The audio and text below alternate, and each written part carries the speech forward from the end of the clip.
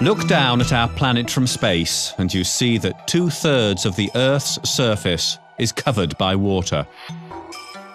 The atmosphere and the ocean are linked by the exchange processes taking place at the surface. The wind is one of the forces driving the ocean currents, and so affects the exchange between ocean and atmosphere of heat and volatile pollutants such as the greenhouse gases carbon dioxide and methane. Surprisingly, these air sea interaction processes, which influence the global climate and the global distribution of specific chemicals, are themselves governed by turbulent and molecular mixing processes just a few millimeters beneath the surface. Because the sea surface is agitated by wind waves, it is difficult to investigate these small scale air sea interaction processes experimentally. So many basic questions remain unanswered. For example, how does the exchange rate of gases depend on the wind speeds and the waves? Or to what extent can gas bubble clouds generated by breaking waves enhance the gas transfer rate? It is almost impossible to answer such questions by fieldwork. Measurements under controlled conditions are required. Traditionally, linear wind wave facilities have been used. The largest facility of this kind is located at Delft in the Netherlands. A huge building covers a water channel 8 metres wide, 100 metres long, and 0.8 metres deep. Over this, a wind tunnel has been built to generate wind.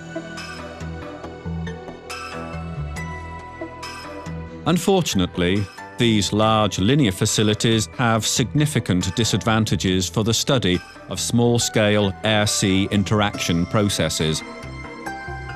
First, only rather short wind waves can be generated.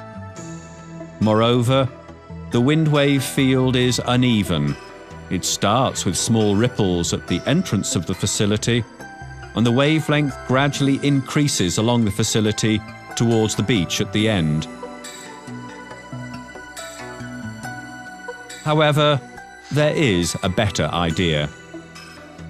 An annular water channel has no beginning and no end.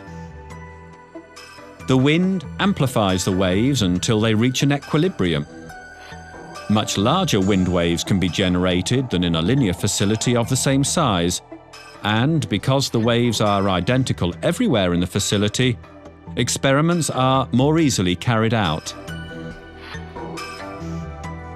The first circular facility was built in 1950 in the Soviet Union by the father of Soviet physical oceanography, Vasily Shuleykin.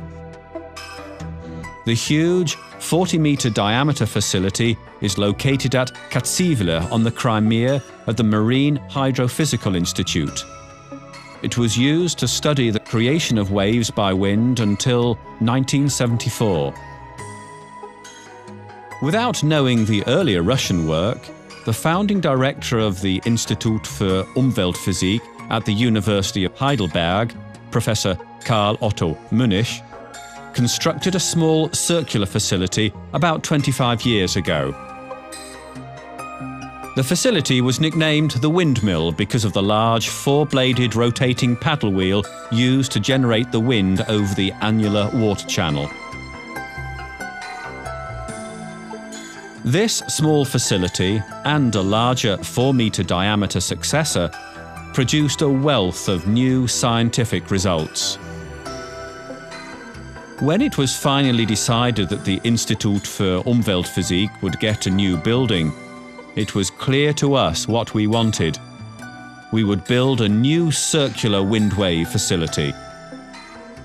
It should be large enough to simulate small-scale air-sea interaction processes realistically, yet it should also be versatile enough to use state-of-the-art imaging techniques to gain direct insight into the mechanism of air-sea gas exchange and related processes, and finally to solve the mysteries that have puzzled scientists for years. The facility was named Aeolotron after the Greek god of the winds, Aeolus. The platform and the frame of the facility were built of wood. Carpenters and many other construction workers were involved in the building of the facility.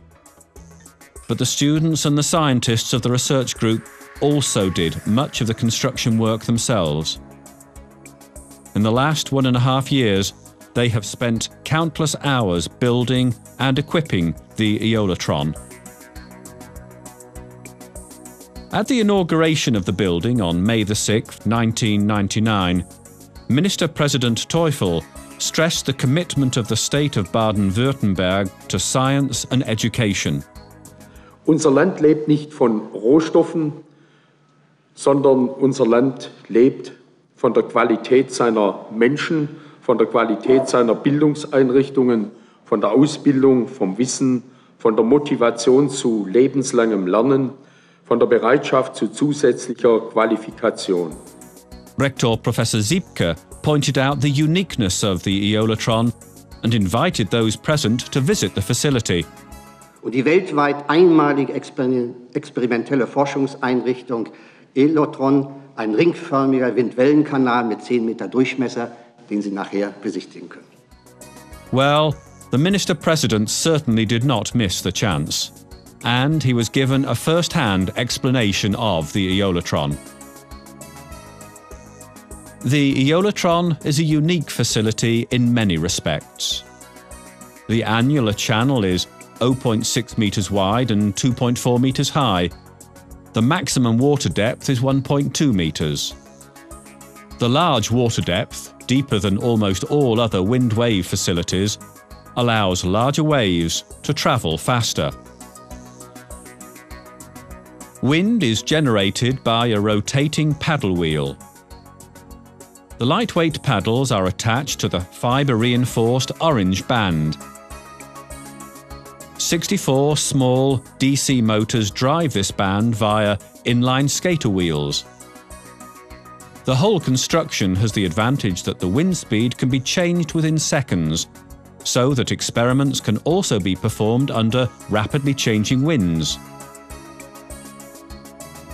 The Aeolotron has excellent thermal insulation due to a 10 cm thick styrofoam layer on the inner side of the wooden frame.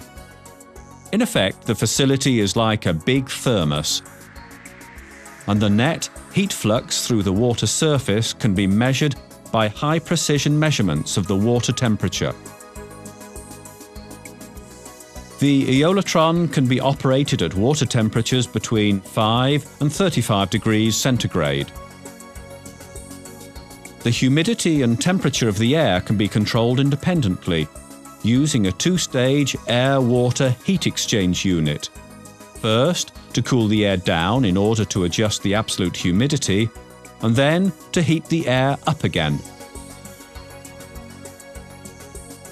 The Aeolotron is a chemically clean environment. It can be operated either with deionized water or with artificial seawater. Separate tank batteries are available. Since the whole facility is airtight, a new technique could be developed to measure the gas transfer rate. This could be done within a few minutes by using various optical techniques to measure the increase of gas concentrations in the airspace. However, the most important experimental capabilities of the Aeolotron are imaging techniques, since these give a direct insight into the processes. A central optical experimental stand has been constructed so that at the same footprint at the water surface multiple parameters can be made visible simultaneously. The slope of the waves can be coded in colour by a colour-graduated light source through the large optical window at the bottom of the facility. A camera mounted above the facility takes image sequences that show all waves, from tiny capillary waves to large gravity waves. Thermal images are taken through an oblique window from the side of the facility. These image sequences show the fine-scale temperature fluctuations at the water surface that reveal the structure of the surface turbulence and how it is influenced by waves. The patterns are completely different at low wind speeds without waves and at high wind speeds with waves. The Aeolotron is now operational. Because of its unique features, it will certainly attract researchers from all over the world to perform experiments together with the Heidelberg research groups for years to come.